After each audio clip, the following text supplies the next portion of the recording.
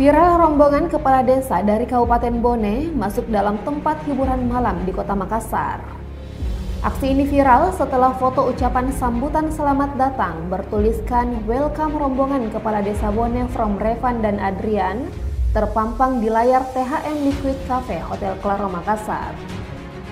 Kejadian ini terjadi pada 9 Mei lalu, di mana diketahui para kepala desa pada tanggal 8 hingga 10 Mei melakukan bintek yang digelar oleh PT Putri Dewani Mandiri dan dihadiri 293 kepala desa. Menanggapi hal ini, Kepala Dinas Pemberdayaan Masyarakat Desa Sulawesi Selatan, Jaya Dinas, mengaku sangat menyayangkan aksi para kades tersebut. Jaya Dinas menyatakan bahwa pihaknya akan melakukan pertemuan dengan para kades setelah insiden ini terjadi.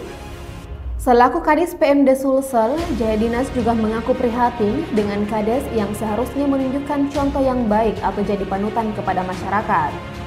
Ia menegaskan akan melakukan penelusuran terkait tindakan para kepala desa tersebut. Dia berharap agar dana desa tak disalahgunakan, termasuk dalam kegiatan ini.